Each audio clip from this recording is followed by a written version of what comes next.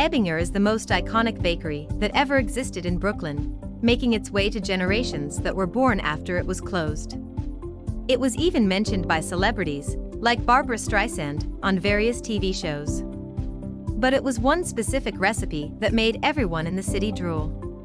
The Ebinger's Mocha Cake. For anyone that does not know what it is, this classic cake consists of a yellow sponge, creamy and delicious mocha buttercream, covered with hard chocolate and flaked almonds. It is delicious and we recommend you try our take on it, which is based on Beth Michelle's recipe. This recipe will yield one large cake. We will be using two 9-inch by 1 and a half-inch cake pans. Before starting, grease and flour them, to be able to take them easier out of the mold. You can also use baker's spray.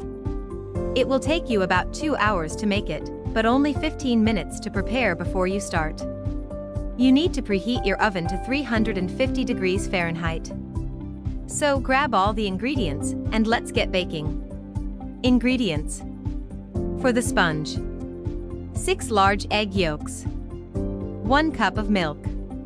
2 teaspoons of vanilla extract. 3 cups of flour. 1 and a half cups of sugar 1 tablespoon plus 1 teaspoon of baking powder 3 quarters teaspoon of salt 12 tablespoons of unsalted butter at room temperature and cut into pieces. For the mocha frosting, 1 cup of unsalted butter, at room temperature. 3 cups of powdered sugar. 2 teaspoons of cocoa powder. 2 teaspoons of vanilla extract. 2 teaspoons of ground dark coffee. 1 tablespoon of milk. For the hard chocolate, 6 tablespoons unsalted butter. 12 ounces dark chocolate chips. For garnish, 1 candied cherry. 1 cup of flaked almonds. How to make this easy mocha cake. Step 1. We will start by making the cake batter. First combine the egg yolks, 1 quarter cup of milk, and vanilla extract in a medium bowl. Step 2. In a large mixing bowl, combine all dry ingredients. Step 3. Add the butter and remaining 3 quarters cup of milk to the dry ingredients. With an electric or handheld mixer, combine everything until everything is moistened. Once all is combined, increase the speed to medium and beat 2 minutes to add air. This will make it lighter. Step 4. Add the egg, milk, and vanilla extract mixture 3 different times. You need to beat for about 30 seconds between each one so that the egg is well combined. Step 5. Once everything is mixed, your batter will be ready. Divide it into the greased and floured pans to bake them. The will only be half full, so do not fret.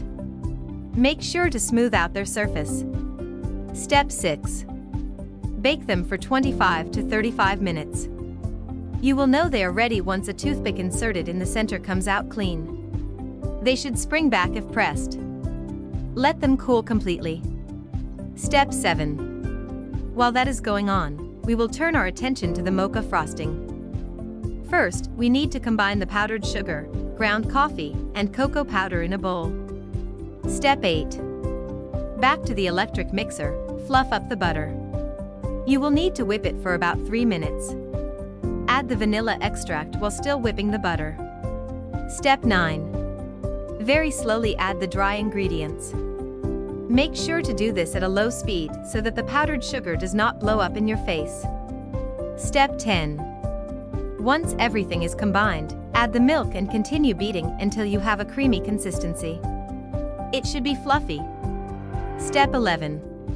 Once the cakes are cool you can proceed to cut them in half. We only need three finish layers, so there will be one extra that you can use to make cake pops or something of the sort. Step 12. Now let's move on to assembly. Over some parchment paper, place the first layer of the cake and cover it with the frosting. Repeat this one more time and place the last layer on top. Step 13. Use the rest of the frosting to crumb coat and cover the entire cake. Leave it in the fridge to cool down. It will take at least one hour. Step 14. When it is almost time to take out the cakes, we can prepare the hard chocolate. For this, you will want to melt the chocolate and butter together over a double boiler. You can also do this in the microwave in 10 second intervals. Let it cool down a bit before using it. Step 15. Take the cake out of the fridge and put it on a rack so that any extra chocolate can flow to a pan below. Cover it carefully with the chocolate. Make sure the sides are well covered. Step 16. As a garnish, use the flaked almonds and carefully place them all over the sides while the chocolate is setting. This way they will stay put. Do the same with the candied cherry, placing it on top, in the middle. This very classic, but still very special recipe is one of our favorites. I am a mocha fiend myself ever since I tried it when I was just a kid.